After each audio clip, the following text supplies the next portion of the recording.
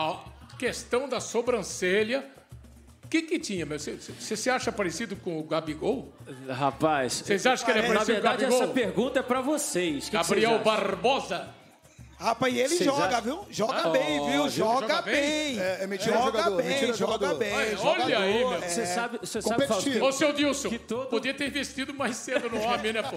Tem filho que é que nem a usina de Angra, né? Que é a usina nuclear. Investe tudo, não produz porra nenhuma. Meu pai Esse me aqui deu não essa podia mão. ter dado certo em duas profissões. Você sabe que todo jogador de futebol é um pagodeiro frustrado e o pagodeiro E é um nós, jogador, jogador. frustrado. Sem dúvida. Mas quando tiver uma pelada, Edilson, fala que.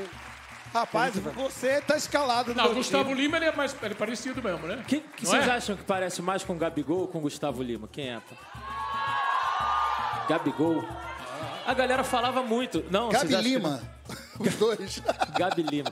Mas a galera Agora, imagina, isso. Edilson, você tivesse jogado hoje, jogar o que você jogava e parecido com o Cristiano Ronaldo. Ave Maria. Com aquela altura. Meu Nossa Deus, hein, meu? Olha lá. E eu pareço mais Deus com... não dá asa pra E eu cobra. pareço mais com o Dilcinho ou o Amaralzinho?